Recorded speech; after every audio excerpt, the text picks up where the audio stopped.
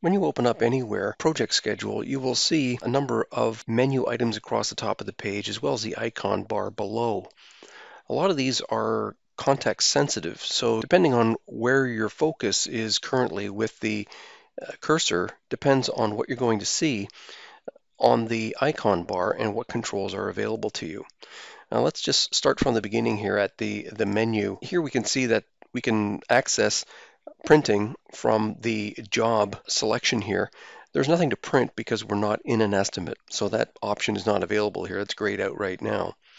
Under settings, we can go to options and this will display a dialog where you can change the settings for your personal preferences.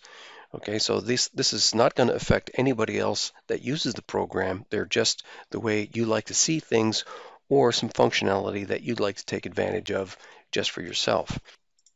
Also, we've got window controls here. So we can, right now, we're displayed as tabs. So we've got tabs, we had tabs, now it's just a panel.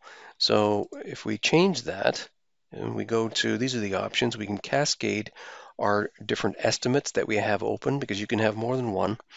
Uh, we can cascade them, tile them horizontally, vertically, and um, arrange the icons on the icon bar. Now I'm going to select display as tabs. I prefer that myself so I can click from one estimate to another. Also, in the help selection here, we've got contents and you can search the the help contents here for any topic that you are interested in learning a little bit more about. There is the what is this? So if we click on that and select, let's say folder here, uh, it's going to give us information on the project schedule screen. And uh, you know you could find the topic specifically more specifically that you're looking for uh, on the project schedule. Also we're going to have about and that's just going to give us a bit of information about the current version that's uh, being used. Also the support 1-800 number so as you might have noticed, when you click on projects over here in the folder structure, then we get what's called tree controls. And uh, if we click over here on the grid on the right hand side, we get grid controls. So that's the main difference here, and it really depends on where you click that determines what controls you need at that moment. So if we go back over to the folder tree, then it's this switches to tree controls. So now if we want to add another project to Ed's folder, we can click on that and we get the option for folder, project, or estimate. Now if we change to the grid, then we have a different collection of of options available to us here. Now I've just selected the entire grid and so we have all kind all of the options are available. Now you can copy and paste into Excel. You can, well, here's the control for paste. Um, you can't delete, even though that's uh, lit up right there. I don't think you can delete any of this. The fill control allows you to, let's say we wanted to change all of these time interval settings to days. And uh, we make a selection here for days.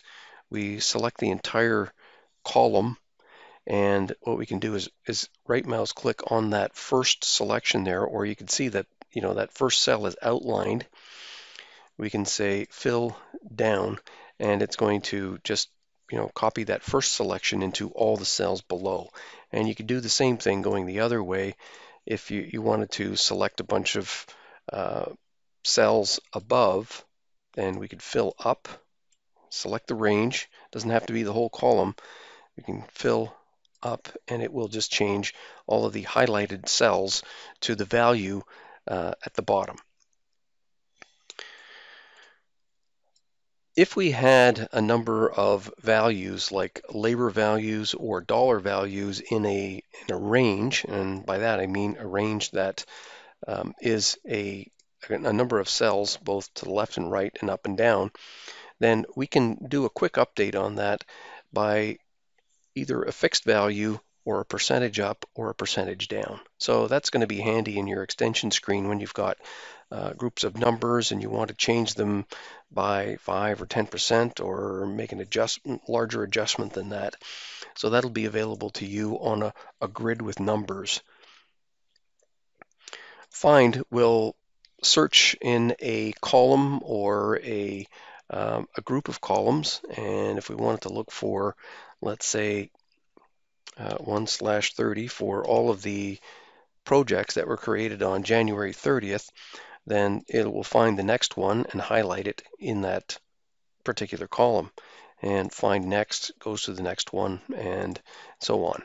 So you can find you know that part of a date or that part of a description in order to you know uh, zero in on a particular project in this case. If you need to change the order of the way you see things right now, you can go to another column, highlight the entire column, and then sort either ascending or descending as the case may be, well, whatever's convenient for you at the time. Then there's the ability to clear sorting so that it goes back into its original order. Uh, refresh if uh, something changes or if something somebody has done some work and has added a, an estimate or, uh, or a project and it hasn't showed up on your screen yet, you can refresh and it will appear um, if you're working at the same time. There's a search tool here, so if you're looking for a particular estimate, contract, or PCO, and you remember a partial of the name, then you can enter that in here and search and there's actually two projects or estimates really that have uh, the the word sample in them. So you can pick the one that you need double click to open it and you can carry on. A cool option that you have in the uh, grid control is to right mouse click and toggle on the filter row. That'll give you the ability to search through this column of words basically and filter out what it is that you're looking for. So if I were to type in demo, it will filter out all of the estimates in this case that uh, have the word demo in it. Now, this is available on all the grids in the program, and it's very easy to turn on and uh, very convenient if, uh, if you need a filter on any row of information. We hope you enjoyed this video. Visit mep.trimble.com for even more product resources.